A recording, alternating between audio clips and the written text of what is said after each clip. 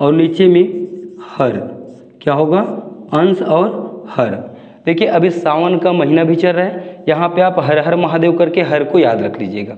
ठीक? हर से प्रारंभ करेंगे और हर से हम अंत करेंगे। जैसे देखिए, शुरू में मैं लिखूँगा हर, थोड़ा दूर में लिखूँगा मैं हर, और एक बटे का चिन्ह लगा के नीचे में भी लिखूँगा मैं हर।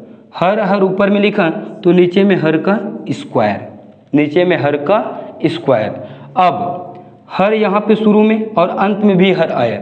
बीच में दिख रहा है, वहाँ आप अंश लगा दीजिए। ये हो जाएगा आपका अंश, ये हो जाएगा आपका अंश। क्या हो जाएगा? अंश। अब, हर और अंश के बीच में डी बाई डी एक्स है। अंश और हर के बीच में डी बाई डी एक्स है। क्या लगाएँगे? डी बाई डी एक्स है। डी बाई डी एक्स है। और यहाँ लगा दीजिए एक माइनस का चिन्ह। बन गया सूत्र।